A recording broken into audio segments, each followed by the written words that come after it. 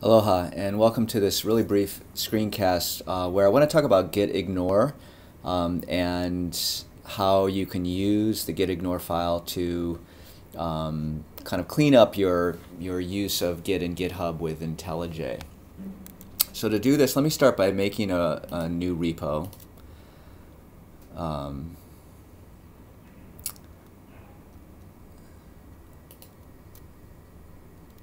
which is, there we go. Um, and we'll call it demo ignore. And we're not going to create a git ignore file. But we'll create the repo and then we want to download this to our local file system. So we'll clone it down to here. And we've got this demo ignore file. And then what we're going to do is uh, bring up IntelliJ IDEA and create a new project. We'll just make it a web project. And we're going to uh, make it around that demo ignore Okay, so now we've got this thing, and what we'll do is we'll create a, um, a new file. We'll call it foo.text, and we'll add it to Git, and we'll type some text, uh, work on the foo project. Okay, so, and we'll save it out. Now let's go over to GitHub, and we'll see that we have uh, a bunch of these .idea files plus our foo.text file, which is what we really want to do. But you know, we'll just go ahead and commit. So um, initial work on foo. So we'll commit and sync. Okay, so now we've pushed up to um, the foo repo. If we go here, we can see that uh, we've got .idea, the .idea um, file created by IntelliJ, our foo.text, which is our actual work, and the project definition. Um, and if we go back to uh, IntelliJ, okay, now let's do a little more work. Do some more work in foo. But let's also do something like, I don't know, just move the screen a little bit. Okay. Well, if we now go back to GitHub um, and oh, let me just save out this, sorry.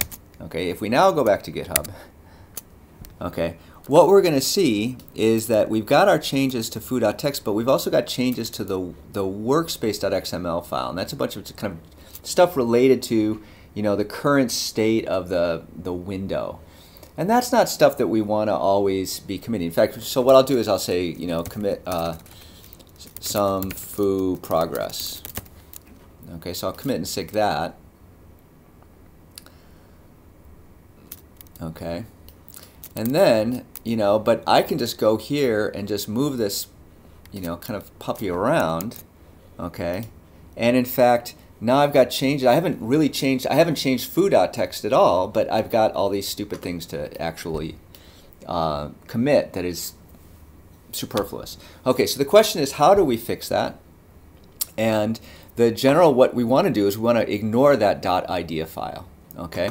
Um, and I want to show you a more general purpose mechanism for dealing with these kinds of problems. In general, there's this system called gitignore.io where no matter what kind of project you're working on, it will generate the kinds of files that you know you probably want to ignore. So it's a good kind of first pass. So we can type in IntelliJ, and maybe it's a Java project, so we could also type in Java, and then we can say generate, and we get a gitignore file that will for example, ignore the dot .idea directory.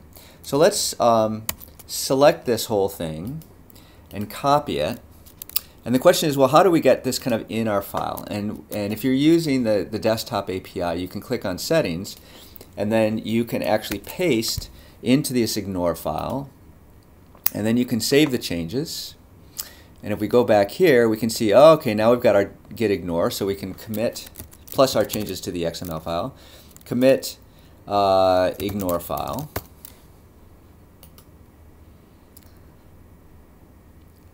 Okay.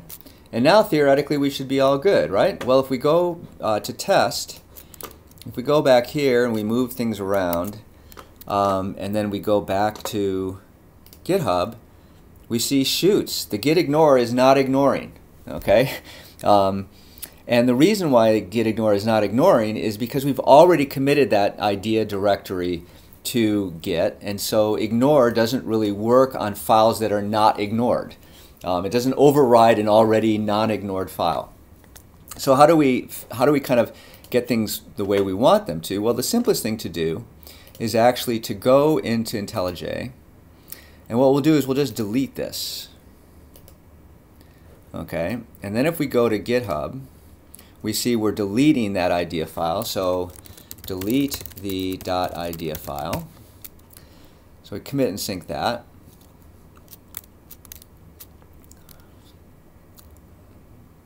Okay, and now that that's done, if we can now go back to um, our um, IntelliJ, and what you'll see is that it's actually regenerated the file.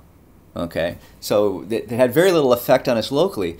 But the important thing is that if we now go to GitHub, what you can see is that in our GitHub repository, both uh, at GitHub and in our local repo, we have a we no longer have that dot uh, idea file in our repo, and we have a dot ignore saying don't you know, uh, ignore it. Okay?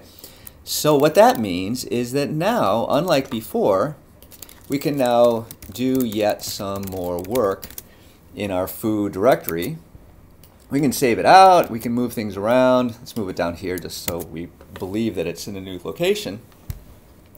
And if we go back to GitHub, what we can see is, oh, this is awesome. Only the foo.txt file is actually uh, indicated as something we have to save. So we'll say save out work on foo.txt. Text. Okay? And so now everything works the way you want it to do. So basically, uh, you know, what I want you to get from this is that this git ignore um, is a nice way to generate the gitignore files appropriate to whatever kind of project you work. They have like a you know 203 different operating system ID and programming language templates. You can have multiple ones and string them together. Once you've got that, you basically go into GitHub, go under settings. That's where you can place it in.